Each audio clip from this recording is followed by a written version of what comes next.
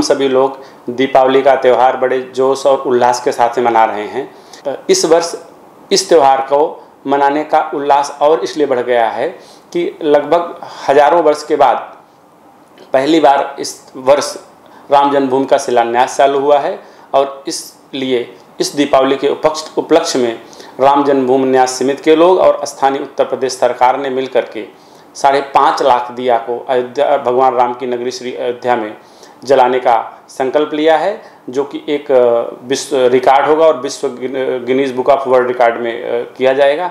इसके लिए हमारे सभी देशवासियों से मेरा रिक्वेस्ट है कि एक दिया भगवान राम के नाम पे जलाएँ, जो उसमें शामिल हो। और कोरोना महामारी के चलते लोगों से अनुरोध है कि दो गज की दूरी बनाए रखें, सुरक्षा का पालन करें और इस त्यौहार को जोश और उल्लास के साथ मनाएँ। दीपावली की बहुत बहुत शुभकामनाएँ, कामना, कामनाएँ। सभी लोग स्वस्थ रहें, खुशहाल रहें।